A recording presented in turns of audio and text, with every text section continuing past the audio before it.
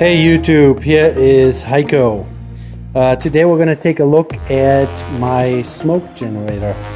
The smoke generator helps when you want to uh, diagnose leakages in your vacuum system or your evap system on your car and it's uh, relatively easy to build one at home so you don't have to spend hundreds of dollars buying one.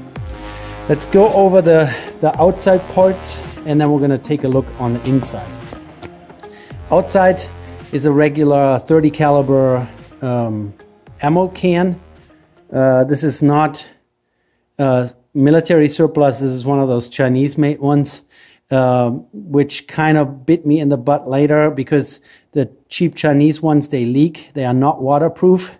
And uh, if they are not waterproof, they are also not leak proof to the stuff that you have to put in there to create smoke.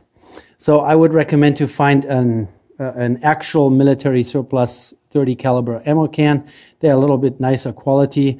Uh, they are put together a little nicer. But uh, regardless, uh, this one worked just fine. I think I paid 15 bucks for this thing. And then I had a old single stage propane uh, uh, regulator lying around. what I need this for, why this has to be in here, I will explain a little later. Uh, let's just keep going over the parts. Um, here's a bulkhead fitting, um, which I, oh yeah, it's a bulkhead that has, it's inside threaded and at the end I put a barb fitting on here. Uh, the barbecue propane regulator here actually had a hose on it, so I had to uh, break open the crimp and take the old hose off.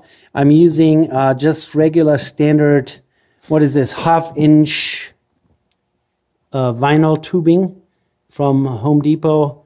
Holds 45 PSI, that's plenty.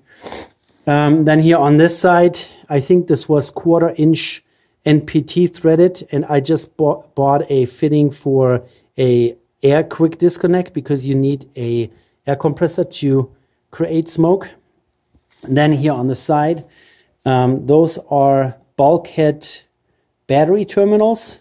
They're used in automotive applications where, let's say, your battery is somewhere in the trunk, you run some wires, and you have to bring the, the power through a bulkhead. So you put those in. Um, they have the big old nut on here, and then I put some sealant around it. And so you can bring electrical power through a metal wall without having any electrical issues there. And there's one in red and one in black on the other side. And then some, I want to say this is probably 14 gauge, I don't remember, 14 gauge wire.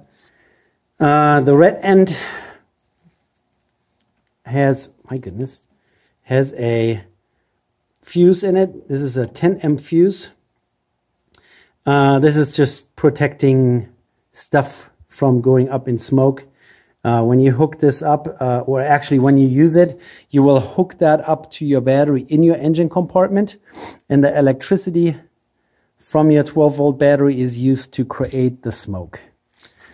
All right, now let's uh, take a look up here. Here's another bulkhead fitting going to a hose barb. This is all from a hardware store. So this is all stuff that you can get in the plumbing section.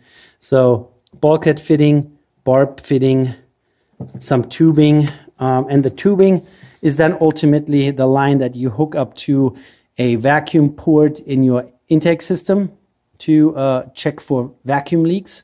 So um, the, the tubing here goes to a vacuum port. They are usually somewhere on the side on the on the intake manifold, either on a carbureted or even fuel injected engine. And then you disconnect the vacuum line, hook this tubing onto it, and then um, this, this little device here will push smoke into your intake and uh, subsequently into your entire vacuum system. So all the vacuum lines are going to be pressurized. And um, let's now take a peek on the inside here. So on the inside, what you see at the bottom is mineral oil, or you can use uh, baby oil that is mineral oil just with a fragrance. Um, you see the other end of the bulkhead fittings. Then uh, these here are um, uh, wicks from a uh, tiki torch. You can buy them online on eBay. Um, these are a whole bunch of them. I think I used four. So two from each side, bent 90 degrees, and then two going down the other side. And then this wire here, let's, uh, I'll, I'll grab that real quick. Hold on, guys.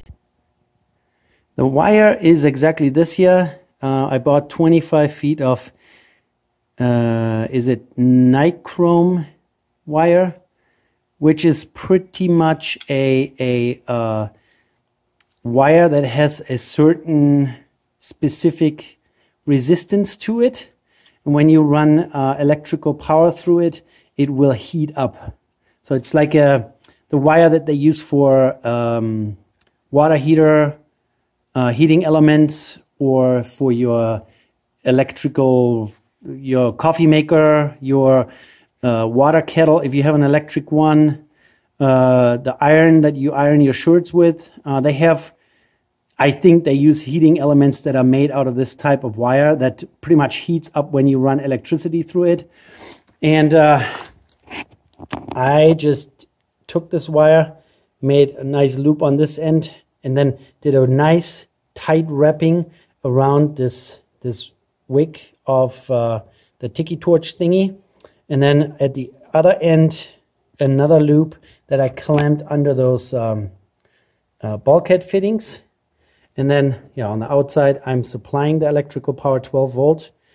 And uh, as you can see, it gets hot enough that it actually gets this all black and brown. And uh, the, the wick sucks up this thin mineral oil. It's really thin. Um, and turns that into smoke.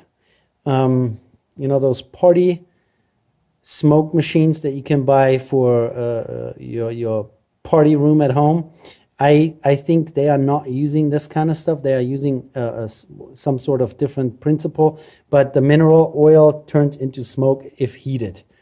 And then here you can see the other side, the bulkhead fitting, uh, where my propane regulator is hooked up to. Uh, the purpose of this regulator is to turn my compressed air that I'm getting from my uh, compressor down to a very low pressure. So let's say we're putting 100 psi in here, which is very uh, comparable to a, a, propane bottle. A propane bottle probably has even higher pressures than that, especially in the summertime if that 20 pound bottle sits outside. So let's say we're putting 100 psi in here, and this one stage uh, regulator puts this down to very low pressure. I want to say, probably says that on here somewhere if I can find it. Um, doesn't say, but I want to say around one psi, maybe even less than that. I usually uh, it's usually expressed in inches of water column or inches of mercury even. Uh, I don't see it on this thing here. Maybe you guys can see that. But uh, it is a very low pressure. So when you want to test your vacuum system or your evap system in your car, you don't want to uh, pressurize this and then maybe damage sensors or damage uh, uh, pipes or tubing somewhere that you, you know, like hidden behind something and you can't see it and it just uh, uh, bursts because you put 10 psi in there. Uh, so the, the smoke coming out of this tubing here is very low pressure, like half a psi. And um, that's why you need one of those. On eBay, I've seen uh, kind of self-built smoke generators that you can buy for a hundred bucks. They only have a, um, a ball valve in here, which restricts the airflow. And then you have to hook up your uh, compressor at like 30 psi already way down there and then they control the airflow just with a ball valve. I think this is a much more elegant um, way of doing this because the, the regulator brings it down to a few inches of water column uh, regardless of the input pressure. Um, so yeah, and all you need is a couple bulkhead fittings and some tubing and some hose clamps. And then on this side, uh, the high pressure input side, um, I just used a quick disconnect from my air line here. Um, I'll bring my airline over and show you how much pressure actually comes out of this. So we currently have 75, am I seeing this correctly? No, this is 60, 70 PSI coming out of my air compressor. And now I will show you on the other end how much actually comes out of this uh, smoke, the smoke generator. So now you can hear the hissing. Um, and if I put my finger on here, you can kind of guesstimate how much air this really is. It's a good blow. It's not, it's not wimpy, it's not weak, but it will not damage any sensors or, or the interior of your fuel injection system because this is very low pressure. Now I'm going to hook up a battery and then we'll see how much smoke we can get out of this. So here guys, the smoke machine has had some time to preheat. Uh, you also got to make sure that you have a sufficient amount of mineral oil already on the wick inside. Uh, you know, it's supposed to wick it up into the heating element, but it is easier to get it started if you just use a little paintbrush or whatever, brush some on the heating element, then hook it up, wait a couple minutes, and then hook it up to air. So, oh, here we go. You can already see how much, yeah, in in front of a dark background how much air I'm getting out. So it's set at 75 psi right now. Um, 75 psi with a pressure regulator translates into 27 inches of water column and with a preheated heating element you can clearly see how much smoke is coming out right is that visible for you guys? Yeah, I think so.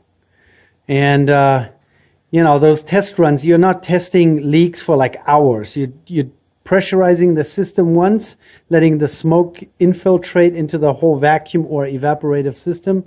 And then uh, you're pretty much looking around and the, the moment you see some puff of smoke showing up somewhere, uh, you pretty much have already found your leak. So it's, it's really simple. And then uh, I don't know if I explained that earlier, but you can uh, wrap this chromium wire or nichrome. That's not, that's what it is. Nichrome wire tighter so you have more heating element surface um, and that brings this up to a higher temperature and makes it smoke more, but uh, this is really sufficient here. So you, you, you hook it up, wait a little bit, and then get the air going, and then uh, really not bad. Really not bad for a homemade device. And uh, the airflow in a situation where you actually hook this up to a vacuum port on your intake manifold, the airflow is going to be less it's going to be restricted to escape. And so you will definitely see where the smoke comes out of out of a leaky vacuum line or leaky intake or a gasket um, on a old BMW. I found a broken or damaged intake manifold gasket. So this has more than paid for itself. So that's how that goes. All right, guys, now you saw it in action. You see how much smoke it puts out once you you prepare the machine here. So you just I always have like a pack of a hundred of those little acid brushes lying around. Whoop. and then you just dip it in there and brush some on. And that cools down the heating element then close this puppy up Wait a moment.